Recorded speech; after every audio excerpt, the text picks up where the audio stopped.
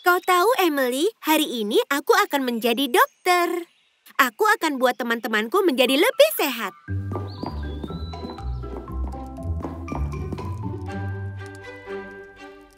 Aku tahu, dapur ini akan jadi rumah sakit yang sempurna. Lebah kerlap-kerlip, dapur akan berubah menjadi rumah sakit. Hore! Aku seorang dokter, aku seorang dokter. Tidak ada? Baiklah, aku akan sarapan.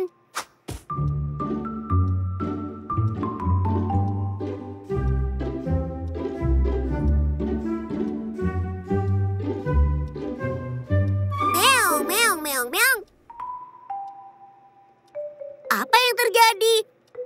Teti, kau sedang apa?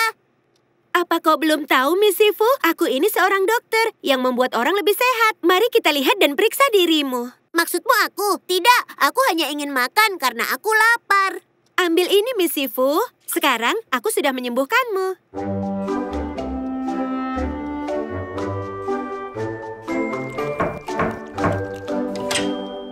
Lili, ada apa? Mulutku sakit. Masuklah, dokter Teti akan membantumu. Halo, Lily. Silakan duduk di tempat tidur. Jadi, katakan apa yang salah denganmu. Aku baru saja makan coklat. Aha, aha. Dan gigiku tiba-tiba mulai terasa sakit. Baiklah, aku perlu melihat telingamu, Lily. Apa? Telingaku? Aha, mari kita lihat. Hmm, ya, sepertinya tidak masalah. Tapi kau tahu, gigiku yang sakit, bukan telingaku. Sebenarnya aku tidak tahu tentang gigi. Miss Sifu, Miss Sifu, aku butuh bantuanmu. Misifu si kucing ada di sini untuk menyelamatkan. Ada apa? Nah, gigi Lili sakit. Aku periksa telinganya, semua baik. Jadi pasti tenggorokannya yang bermasalah. Mungkin dia demam dan masuk angin. Ah, ah, ah. Tapi aku datang ke sini karena sakit gigi. Ah. Dan sekarang aku terkena flu parah. Acuh!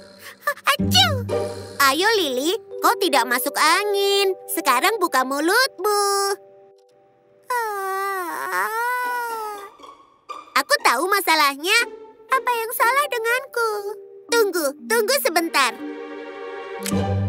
Apa sekarang masih sakit? Tidak, rasa sakitnya berhenti, Miss Sifu. Karena kau punya gigi susu yang hampir lepas, Lili. Oh, aku akan kehilangan gigi. Bagaimana kita akan memperbaikinya? Ini adalah gigi susu yang lepas untuk digantikan dengan gigi baru yang lebih kuat. Dan lihat, sangat keren karena kau meletakkannya di bawah bantal saat malam. Dan kemudian peri gigi datang untuk membawakanmu hadiah. Eh, hadiah, hadiah, hore! Uhuh. Benarkah? Aku ingin juga. Kapan gigiku akan tanggal? Gigimu akan tanggal ketika saatnya untuk lepas. Benar, aku akan meletakkan gigiku di bawah bantalku. Sampai jumpa. Aku akan menyelesaikan makan siangku. Baik. Benar, akhirnya aku selesai. Oh, benjolan di kepala. Oh, oh. Ah, ini benar-benar sangat menyakitkan. Sebaiknya pergi dan menemui dokter Teti.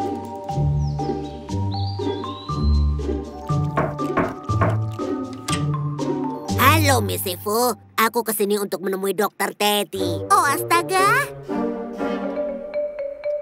Halo, dokter Teti. Halo, Pak Moning. Silakan duduk di tempat tidur. Apa yang kau rasakan? Kepalaku terbentur sesuatu. Kau lihat? Ini... Ah, iya, kau berdarah. Miss Sifu, tolong aku. Ya, aku datang. Sekarang apa yang terjadi? Miss Sifu, Miss Sifu, Pak Moning berdarah. Dan kita perlu membalut seluruh kepalanya. Tidak. Tidak, tidak, tidak. Lalu, apa yang harus kita lakukan? Hmm, ini luka kecil yang perlu dirawat. Oh astaga, pasti sakit. Mari kita bersihkan lukanya. Jangan khawatir, Teti. Tidak sakit. Aku baik-baik saja. Oh begitu, syukurlah. Sekarang kita plester dan kau akan lebih baik. Hei, sudah selesai. Apa sekarang lebih baik? Aku sekarang baik-baik saja. Terima kasih, teman-teman. Terima kasih, Miss Sifu. Sekarang aku akan siap untuk merawat pasien berikutnya. Ya, kita akan lihat. Jika kau butuh bantuan, hubungi aku. Aku akan berbaring dulu di sofa. Huh. Baik. Halo Tuan Ogre, kau adalah pasien berikutnya hari ini. Silakan, katakan padaku ada apa. Ah, ah, aku tidak bisa mendengar apa pun. Tidak. Sekarang apa lagi? Miss Sifu, telingaku tidak berfungsi. Aku tak bisa mendengar apa-apa. Tenang, Teti. Telingamu bekerja dengan baik. Kau bisa mendengar. Tapi Pak Ogre sedang berbicara dan aku tidak bisa mendengarnya. Tidak apa-apa, aku juga tidak bisa mendengarnya. Kasihan, Miss Sifu. Kau juga punya masalah dengan telinga.